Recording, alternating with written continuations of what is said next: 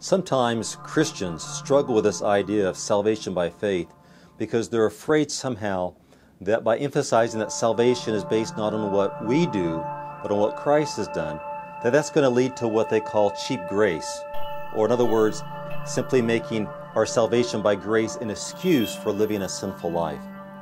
But nothing could be further from the truth. In fact, in Paul's day, some of his opponents actually felt this was what Paul was teaching. We know this because in Romans chapter 3, uh, down in verse 8, uh, Paul here, dialoguing with his uh, uh, opponents in Galatia, says, Why not do evil that good may come? Has some people slanderously charged us with saying? In other words, people were accusing Paul of preaching cheap grace. Paul says if you actually understand the truth of the gospel, you'll recognize that grace is not cheap. One, it was bought by the precious blood of our, of our Savior, Jesus Christ. But secondly, when you recognize all that Christ has done for us, then grace is not an excuse to sin.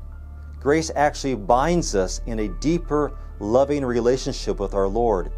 It evokes from us a deeper commitment to serve Him, not because we have to uh, in order to earn His love, but because He's already saved us, and because of that, in response, then, I want to live my life completely for His glory.